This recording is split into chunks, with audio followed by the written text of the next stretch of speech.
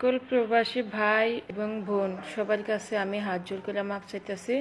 সবাই আমাকে মাফ করবেন। বন্ধুরা, আসসালামু আলাইকুম। আপনারা সবাই কেমন আছেন? আশা করি সবাই ভালো আছেন। বন্ধুরা, আজকে আমি যে ভিডিও ফুটেজটা নিয়ে আসলাম, সেই ভিডিওটা হলো কয়েকদিন আগে একটা মহিলা প্রবাসী, সকল প্রবাসী ভাইদেরকে গালাগালি দিয়েছিল। সকল প্রবাসী ভাইকে গালাগালি দিয়েছিল, সেই মহিলাটার নাম হইল নরুনাহার এই মহিলাটার নাম হইল নরুনাহার সে আজ প্রবাসী ভাইদের কাছে ক্ষমা চাইতেছে। তারে কি বন্ধুরা ক্ষমা করা যায়? কোনোদিনও ক্ষমা করা যায় না। এইভাবে এক কোটি বিশ লক্ষ প্রবাসীদেরকে যে গালি দিয়েছে, তারে কি ক্ষমা করা যায়? এখন সে আইনের বইয়ে সকল প্রবাসীদের কাছে ক্ষমা চাইতেছে। ক্ষমা কি করতে পারি? আমার মনে হয় না যে সে মহিলাটাকে ক্ষমা করতে পারি। আসুন, ভিডিওটা আগে একটু দেখে আসি। সকল প্রবাসী ভাই এবং সবার কাছে আমি হাত জোর করে মাপ চাইতেছি। সবাই আমাকে মাফ করবেন এবং কি যারা আমাদের আমার বয়সে তাদের কাছেও আমি মাপ চাইতেছি। আমার যদি কোনো ভুল হয়, কোনো গালি দিবেন না, মাফ করে দেবেন। আসসালামু আলাইকুম। বন্ধুরা, আপনাদের কি মনে হয়, সেই মহিলাটাকে ক্ষমা করলে কি হবে? সেই মহিলাটাকে ক্ষমা করলে কি হবে?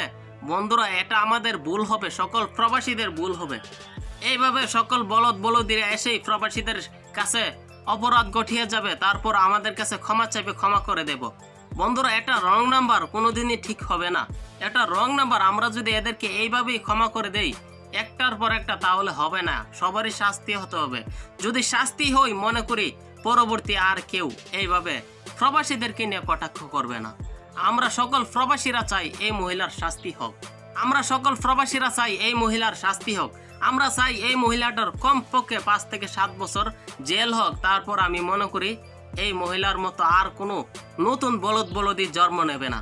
নতুন বলদ বলদি জন্ম নেবে না একটার পর একটা। এই মহিলাদের কারণে একটার পর একটা নতুন বলদ বলদি জন্ম নিতেছে, এই প্রবাসীদের নামে কটাক্ষ করতেছে। প্রবাসীদেরকে নিয়ে ওদের এত খাই জানি কথায় কথায় শুধুমাত্র প্রবাসী উঠতে, বইতে, হইতে, শুইতে সব দিকে শুধুমাত্র প্রবাসী প্রবাসী প্রবাসী। প্রবাসী তোদের কি ক্ষতি করল? প্রবাসীদের বিরুদ্ধে এই ধরনের কথা তোদের বলার কি? একটু মনে জাগে না যে প্রবাসীরা প্রবাসী থাকি কার জন্য? শুধুমাত্র দেশের জন্য? যদি পরিবারের জন্য আমি থাকি, তাহলে কি দেশের জন্য করা হইতেছে না? আমাদের পরিবার কি দেশে থাকে না? আমি যদি প্রবাস থেকে বাংলাদেশে টাকা পাঠাই, তাহলে দেশে যাইতেছে না? তাহলে আমরা দেশের জন্য কি না করতেছি? কয়েকদিন পর পর, একটার পর একটা নতুন বলদ বলদ এসে বলে যে প্রবাসীরা প্রবাসে থাকে, দেশের জন্য তারা কি করে? তারা তো শুধুমাত্র পরিবারের জন্য যায়। তাই বলদ, বলদিরা, প্রবাসীরা প্রবাসে যায়, পরিবারের জন্য কেমনে যায়? পরিবারের জন্য যাই এই যে আমরা টাকাগুলো দিতেছি বিদেশ থেকে বাংলাদেশে, কয়েক মিলিয়ন মিলিয়ন, হাজার হাজার মিলিয়ন যাইতেছে। এক কোটি বিশ লক্ষ প্রবাসী প্রবাসে থাকি। প্রবাসে যারা থাকে, একটা লোকে বিশ হাজারের নিচে বেতন পায় না। ওপরে লক্ষ লক্ষ টাকা বাংলাদেশে পাঠাইতেছে। এইসব টাকা কোথায় যাইতেছে? বাংলাদেশের মাটিতে যাইতেছে না? তাহলে আমরা দেশের জন্য কি না করলাম? আমাদের টাকা যদি বাংলাদেশে যায়, তাহলে তো দেশের জন্য করা হইতেছে।